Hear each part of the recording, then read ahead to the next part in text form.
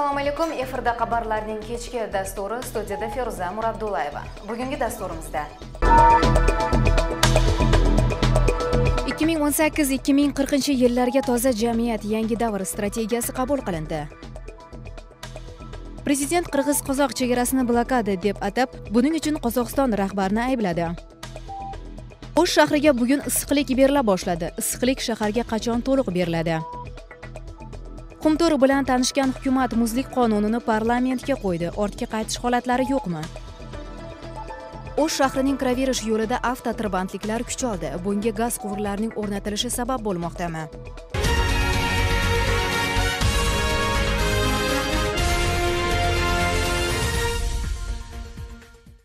Qirg'izistonda respublikaning barqaror rivojlanishining toza jamiyat yangi davri strategiyasi ishlab chiqarildi. 2018-2040 yillarga hisoblangan bu hujjat bugun bishkekda alarcha davlat rezidensiyasida muhokama qilinib qabul qilindi. Yig'inga davlat rahbari almazbek atambayev rahbarlik qilib bunga yangi saylangan prezident so'ronbay jeenbekov Jog'oq kengash raisi dastanbek jumabekov hukumat rahbari sapar isaqov parlamentdagi fraksiya liderlari va hukumat a'zolari ishtirok etishdi. Prezident atambayev 2013 2017 yillarning strategiyasi to'liq o'zini oqlaganini bildirdi. Yig'in yakunida yangi strategiya asos sifatida qabul qilindi. Kelgusi yilning 15 fevralgacha bunga to'liqlovlar kiritilib mart oyigacha qabul qilinadi. Я всем вам очень благодарен. Таза коом жаңы доор стратегиясын колдоп бергениңиздер үчүн баарыңыздарга рахмат. 2018-2040 жылдарга чейинки өнүктүрүү планы кыргызстандын келечеги үчүн өтө маанилүү долбоорду иштөөгө көптөгөн эмгек менен убакыт талап кылынды. улуттук кеңешке ыраазычылыгымды билдирем. Мындан ары да кызматташтык уланаарына ишенем. Дожить до 2040 года. Эки миң кыркынчы жылга чейин өнүктүрүүнүн улуттук стратегиясынын долбоору коомчулуктун катышуусунда кеңири талкуудан өтүп кыргызстанды өнүктүрүүгө зарыл жаңы идея сунуштар менен толукталып толукталат деп ишенем.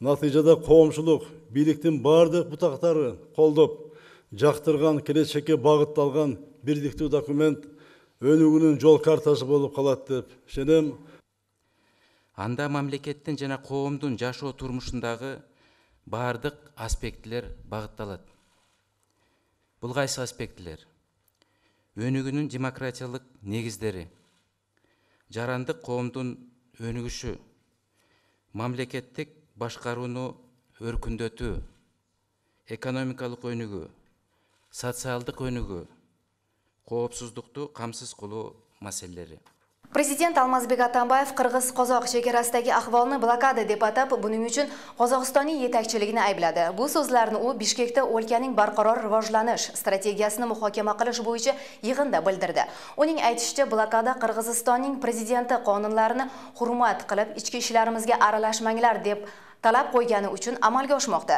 Shu bilan birga atambayev yevrosiyo iqtisodiy ittifoqi komissiyasini ham tanqidga olib qozog'istonning yetakchisining xatti harakati va komissiyaning chora ko'rmagani bois yevrosiyo iqtisodiy ittifoqining imiji va reputatsiyasiga zarar yetmoqda deb bildirdi. 10 oktyabrdan buyon qirg'iz qozoq chegarasi orqali qozog'istonga o'tish bir qancha mushkulliklarni yaratdi.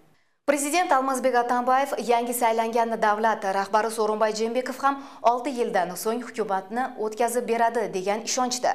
Bu haqda u Milliy kengashning yig'inida bayon qildi.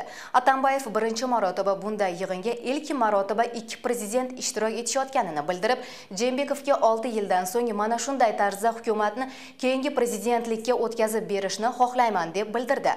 O'z bayonotida prezident 2017-yilgacha strategiya o'zini to'lig'i bilan oqlaganini ta'kidladi. Ammo uning ayrim punktlarini bajarishga yetishish mumkin emasligini oldindan bildiramiz deb qo'shimcha qildi. 2011 yili almazbek atambayev prezident bo'lib 6 yil muddatga saylangan. 15 noyabrdagi saylovda g'olib bo'lgan so'ronbay jeenbekovning inauguratsiyasi 24 noyabrda bo'lib o'tadi. Muzliklarni saqlash bo'yicha tizim loyihasi ishlab chiqildi. U mamlakatning ekologiya va iqtisodiy vaziyatga ijobiy ta'sir ko'rsatadi. Loyiha muallifi Anarbek Istebesovning aytishicha 7000 ga yaqin muzlikni saqlab qolish rejasi tuzilgan. Unga ko'ra davlat kompleks tadbirlarini ishlab chiqilib, zararli moddalardan himoya qilish zarur. Jamoatchilikning e'tiborini tortgan ikki muzlikning vaziyati bilan hukumat deputatlari va fuqarolik jamiyat o'sha yerga borib tanishib kelishdi. Muzliklarni saqlab qolish muammosi ayni damda jamoatchilikni diqqat markazida turibdi. Har bir fuqaro bu yo'nalishda o'z fikrlarini bildirib maslahatlarni muhokama qilmoqda. Ularning qatorida muhandis anarbek estebayev bugun muzliklarni saqlab qolish to'g'risidagi loyihani taklif qildi. Ushbu loyihani amalga oshirish uchun davlat kompleksli rejani qabul qilish ko'rsatib o'tilgan. Давыдов лысый мөңгүсүн кумтөр тукум куртулуп жатса екі мөңгіні а қалған тоқсан тоғыз пайыз мөңгіні түтүндөр тукум куртулуп атат түтүндөр ошо чыгашаларды мамлекет улуттук келишимдин шартына алайык шартына алайык чыгашаларды төлөмдүү кепилдикке коюп төлөмдүү кепилдикке коюп ошонун ордуна күн жылытгычтарын киргизүү ayni damda muzlik qonuni to'g'risida har xil fikrlar paydo bo'lib tushunmovchiliklar kelib chiqmoqda. Shunga asosan hukumat deputatlar va mahalliy jamoat qumtor oltin koniga borib bungacha ishlatilgan lisiy va davidov muzliklarini lisiy va davidov muzliklarini holati bilan tanishishdi. Vitse premyer ministr dushanbek zilaliyev esa ayrim faollar muzliklarni ko'rib chiqib fikrlari o'zgarganini ta'kidladi. Suv kodeksi to'g'risidagi qonun zarur ekanini qo'shimcha qildi. Bu kodeks bizga kerak. E мен ойлойм мына жакын арада жогорку кеңеште каралса эми мындай Э, каршы жана кайчы пикирлер азыраак болот же такыр эле болбойт дегенге толугу менен ишенип кетким келет.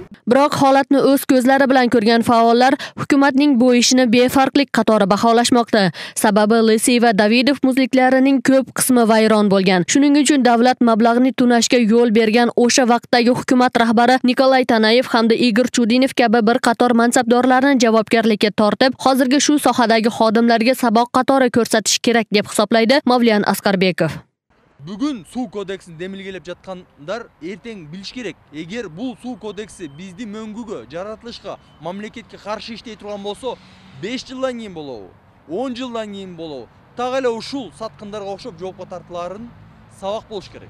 Мына мен кечээ мөңгү көрүп зээним кейип ошол жерде депутаттарга отурганда дагы айттым.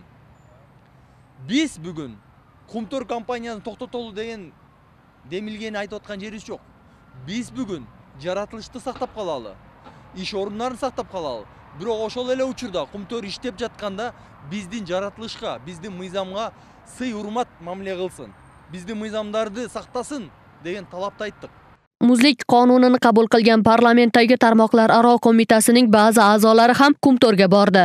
Qo'mita rahbarining ta'kidlashicha nizoli loyiha jug'urka kengashning beshinchi chaqirilishida qabul qilinib ikki marta o'qishdan o'tgan. Ushbu taklif parlament majlisida muhokama qilinib qo'llovga ega bo'lsa ovoz berishga yuboriladi bo'lmasa ortga qaytariladi. Бул мөңгү маселеси ошол эки токсон төртүнчү токсон бешинчи жылдан баштап казылып баштаган экен токсон бешинчи жылдан бери бул мөңгү ошол тазаланып кыркылып баягы четинен алынып келатат. Анан буга чейинки көтөрүлбөгөн маселе азыр муну саясатка айлантып жибердиңер муну саясатка айлантпастан мындай бир таза ой менен таза мындай жүрөк менен кабылдап мындай экономикалык маселе катары карап чечип бергиле.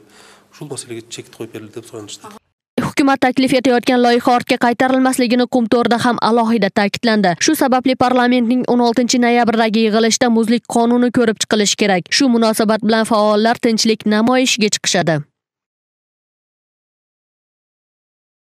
O'sh shahriga bugun issiqlik beriladi. Bugun shaharning 50% issiqlik bilan ta'minlandi. O'sh munisipal issiqlik ta'minlash ishxonasi shaharning sharqiy tomonidagi abonentlari 98% ta'minlandi.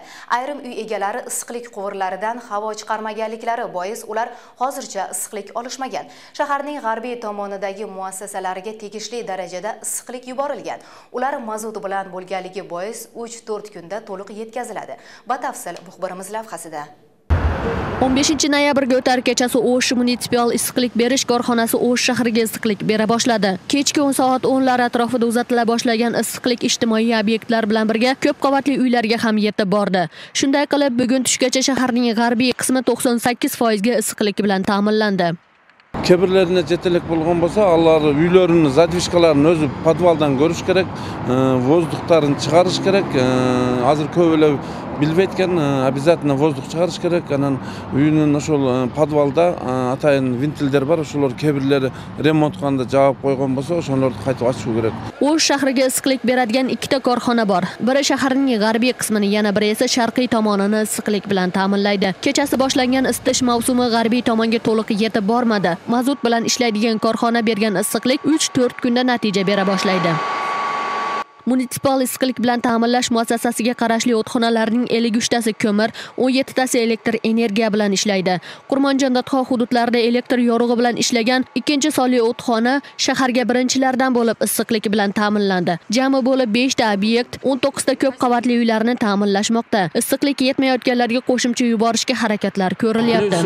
Temperatura oldi 8 ustiga biza mana qirq sakkiz o'zi normativlari borda o'sha o'sha qatorida berib o'tyapmiz o'sh shahrida issiqlik bilan ta'minlangan 600 taga yaqin ko'p qavatli uy 100 ga yaqin ijtimoiy muassasalar bor.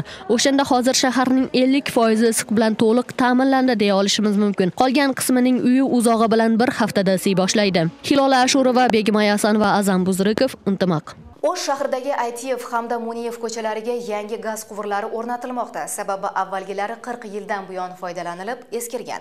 Bunga Gazprom Qirg'iziston ishxonasining O'sh gaz filiali 38 million so'm ajratib, ish bir oy avval boshlangan.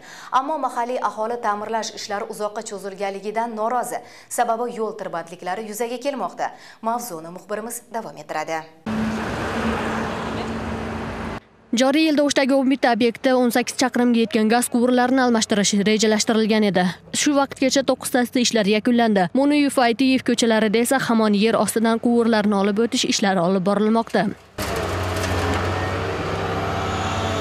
Mo'noyev ko'chasining o'zida 4 chaqirim yerdagi o'rtacha bosimdagi eski gaz quvurlarini almashtirilmoqda. Bu ishlarni bajarish tenderda g'olib bo'lgan Janubiy Transgaz mas'uliyati cheklangan korxonasiga topshirilgan. Mazkur muassasaga mahalliy yashovchilardan ko'plagan noroziliklar aytilmoqda. Ularga ko'ra yo'l cheti bir oy avval qazilib o'sha bo'yicha turibdi. Piyodalar o'tish uchun yo'lakchalar ham ajratilmagan. Shu sababli yashovchilar uchun ham xavf yaralmoqda. nima qilganda keyin bizni mahallani ham ochib qo'ysin deb aytdik moshina kirolmayapti эми биздин көчөнү да ачып койсун да машиналар кире албай атат таштанды алып кетүүчү унаалар дагы өтүүгө мүмкүн эмес болууда ошондуктан үйлөрүбүздүн алды акыр чикирге толуп кетти Qazilib quvurlari o'tkazilib bo'lingan yerlar tez orada oldingi holatiga keltirish masalasi yuzasidan murojaatnomalar yo'llangan. Biroq mahalliy yashovchilarning arizalari inobatga olinmayapti. Aksincha savdo markazlarining oldilari ta'mirlanib, ichki yo'llar e'tibordan chetda qolmoqda. o'zim ko'rib o'tasiz mana bar ishxona yo'l ochiq Hozir yaxshi bo'lyapti o'zi ko'ringlar. Odamlar joni bekik bo'lyapti. Mana o'zinglar mana ko'rsanglar bo'ladi mana. Necha marta suyladik yo'l ochib qo'ygin yo'l ochib qo'ygin deb ochmasa ham nima qilaylik bu joyga kimga arz qilamiz endi Shu bilan birga yo'l tirbandliklari ham muammoga sabab bo'lmoqda. Yangi trubalarni o'rnatish uchun eng kamida 3 metr yo'l to'silishi kerak. Shuning uchun haydovchilar esa bu ko'chadan chiqish uchun soatlab kutishlariga to'g'ri kelmoqda. Ayniqsa, ertalab va aholi ishdan qaytgan vaqtda tirbandliklarning oxiri ko'rinmaydi. жүргүнчүлөргө эми кыйын болуп атат эми билбейм жолдор казылды ушу эсептен болуп атабы нары жакта эки полоса жол бир полоса өдөдө ушу актап айтат бизди эми ушу областнойго десе клиентем алып баргыбыз келбейт Janubiy Transgaz korxonasi bo'lsa o'zlariga yuklatilgan vazifalarni bajarish yuzasidan hech qanday ma'lumot berishmadi. Buyurtmachi Gazprom korxonasi esa quvurlarni o'rnatish ishlari 90% ga tugatilganini aytib chiqdi. Hozirgi kunda yana bir chaqirimga yetmagan yer qoldi. O'shanda 28-noyabrgacha barcha ishlar tugatilishi rejalashtirilgan. жем ал бул жерде мындай да асфальттын дагы амантырстрой өз убагында басыш керек болчу но бүгүнкү күндө ошо битумдун ошо жалпы эле мындай түштүк аймагына уже битумдун кеч калышына уже битумдун бул жоктугу дефициттиги дагы бул себеп болду да бул шаардык эле башка эле тармактарында деле ошо асфальт башка жолдорунда деле асфальтты калыбына келтирүү боюнчачы Yakunida bajarilgan ishlarni Gazprom korxonasi tekshirib chiqadi. 1 yil ichida qazilgan va qayta tiklangan asfaltlarda muammolar yaralsa, tenderdan o'tgan kompaniya ta'mirlab beradi. Hilola Ashurova, Nurjamol Barg'abayeva, Nursulton Abdukerimog'lu, Intimoq. Endi esa navbatni reklama tanaffusiga beramiz. Dastavval xabarlarning qisqacha anonslari bilan tanishib oling.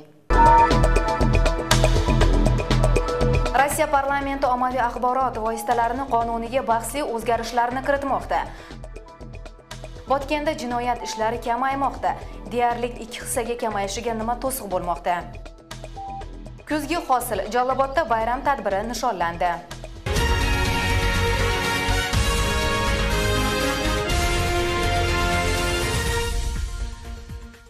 Botken oblastida jinoyatlarning soni yildan yilga qisqarmoqda. Bungacha 4 yil avval tashkil etilgan fuqarolik jamoat oldini olish markazining olib borgan chora-tadbirlari sabab bo'ldi.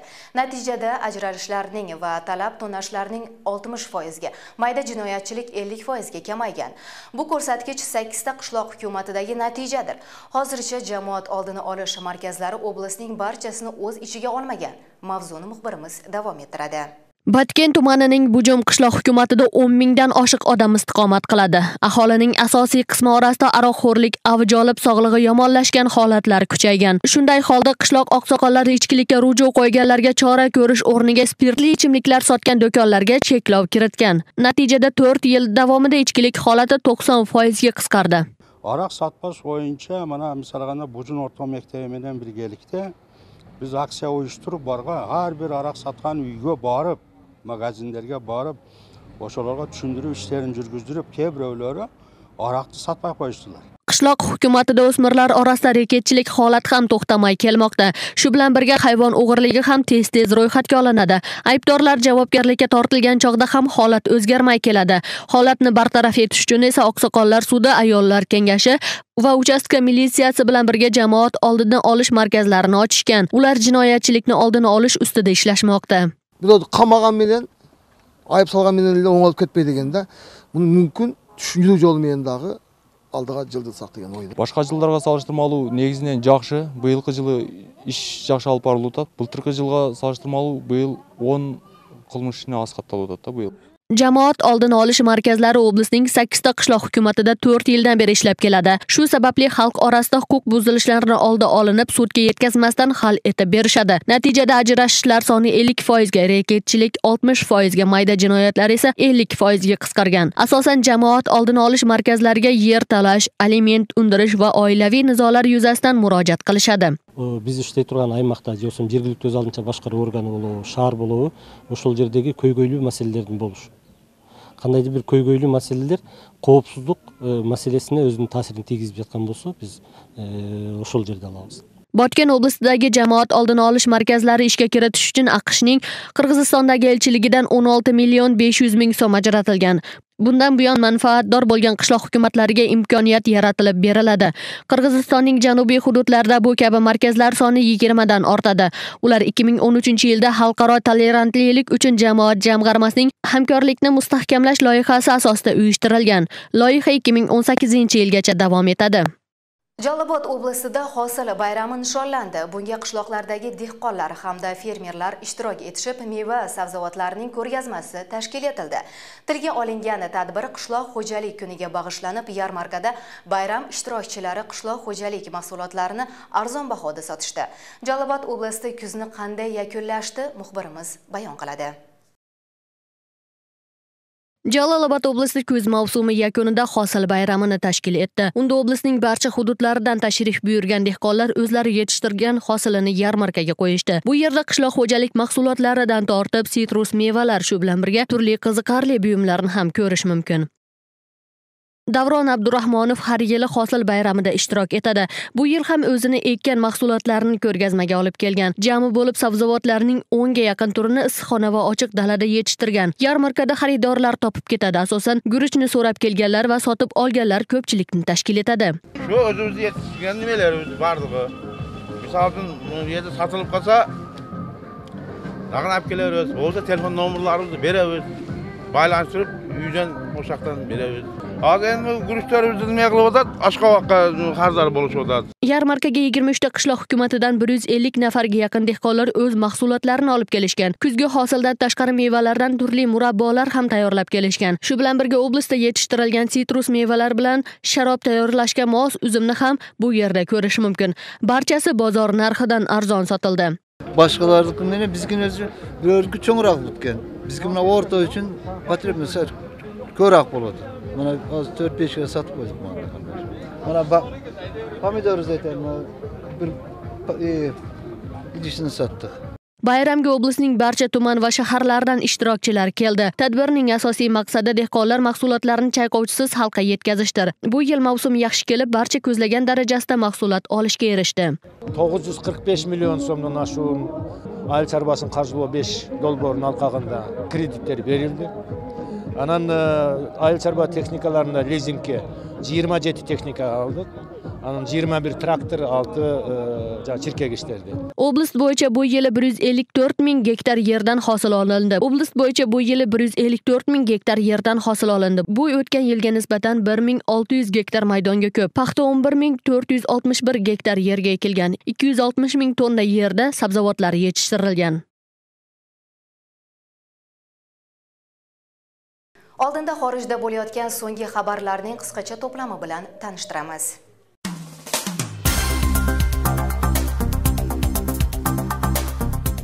Moskva va moskva viloyatida tablig'i jamoat musulmonlar jamoatchilik harakatining 69 nafar a'zosi qo'lga olindi. Bu harakat rossiya oliy sudi tomonidan ekstremistik deb tan olingan va taqiqlangan. Federal xavfsizlik xizmatidagilar huquqni muhofaza qilish organlari juda maxfiylashgan tuzilmani fosh qilishgani unga kelib chiqishi markaziy osiyolik bo'lganlar rahbarlik qilganini tasdiqlayapti. Rossiyaning bu idorasidagilar hech qanday ismi va tafsilotlarni aytishmadi. Tablig'i jamoat harakati 1926 yilda hindistonda paydo bo'ldi va dunyoning ko'plab mamlakatlarida tarqalgan. Mo'tadil islom vakillari uni radikal tashkilot deb hisoblaydi. Aqsh adliya vazirligi 2010 yilda uran 1 kompaniyasining rossiyaning rosatom davlat korporatsiyasiga sotilishi bilan bog'liq vaziyatni o'rganish maqsadida tergov kuzatish imkoniyatlarini o'rganmoqda. Bu haqda kongressdagi eshituvlarda aqsh bosh prokurori jeff seshin ma'lum qildi. Tergov qilish lozimligi haqida bundan avval respublikachi kongressmenlar va aqsh prezidenti donald tramp taklif bilan chiqqan edi. Ularning fikricha uning roziligi bilan o'sha vaqtdagi aqsh davlat kotibi bo'lmish hillari klinton qonunni buzgan bo'lishi mumkin ekan. Demokratlar bu ayblovlar donald tramp jamoasining kreml bilan aloqasi ehtimolini o'rganayotgan tergov jarayonlaridan chalg'itish ekanligini aytishmoqda. Rossiya hududlarida faoliyat yuritgan har qanday chet el ommaviy axborot vositalarini xorijiy agentlarga tenglashtirish imkoniyatlarini o'rganib chiqishga chaqirdi. Bu haqda ommaviy axborot vositalari rossiya parlament quyi palatasi raisining o'rinbosari pyotr tolstoy ma'lum qildi. Tolstoyning so'zlariga qaraganda xorijiy mamlakat hududlarida ro'yxatdan o'tgan yoki chet eldan jumladan xorijiy ishtirokchilarning rossiya kompaniyalari orqali moliyalashtiriladigan har qanday ommaviy axborot vositalari endilikda xorijiy agent sifatida tan olinishi mumkin. Xorijiy agent deya tan olingan ommaviy axborot vositalari o'z mahsulotlarini markirovka qilishni ya'ni notijorat tashkilotlari to'g'risidagi qonunda belgilab qo'yilgani kabi sayt va bosma mahsulotlardan tegishli qaydlar bo'lishi kerak bo'ladi. Qaysi ommaviy axborot vositalari xorijiy agent sifatida ro'yxatdan o'tishini rossiya adliya vazirligi hal qiladi deya ta'kidladi tolstoy. Ya'ni ro'yxatdan olinishdan voz kechganlar rossiyada ishlash imkoniyatidan mahrum bo'ladi dedi o'z so'ziga qo'shimcha qilgan tolstoy.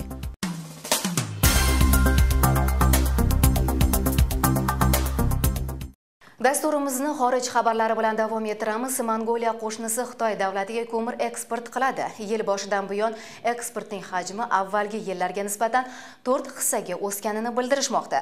Ammo iyul oyidan buyon barchasi ortga ketgan.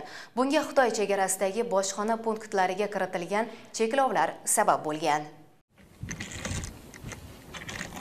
Mongoliya hamda xitoyning chegarasidagi bojxona punktlarida yuk tashuvchi avtomashinalarning navbati uzoqqa cho'zildi. Navbat kutish masofasi bir yuz o'ttiz kilometrga yetdi. Shuningdek mongoliyaning gobi cho'li orqali o'tgan yo'l ko'mir tashiganlar uchun olis va xavflidir. Haydovchilarning aytishicha chegaradan o'tish imkoniyatlariga so'nggi kunlari cheklovlar boshlangan.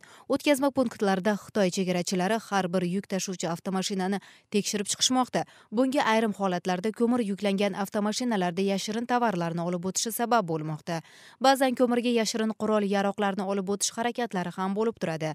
Yana bir muammo yaratgan masala bu yo'lda har kuni yana bir muammo yaratgan masala bu har kuni yo'l halokatlari tez tez qayd etilib turibdi. Ayniqsa tungi vaqtlarda mast holatda rulga o'tirgan haydovchilar tor yo'llarda mashinasini boshqara olmay halokatga uchragan holatlar ham qayd etilib turibdi. Ta'kidlab o'tsak yilning birinchi yarmida mongoliyadan xitoyga ko'mir eksport qilish hajmi to'rt hissaga ko'paygan.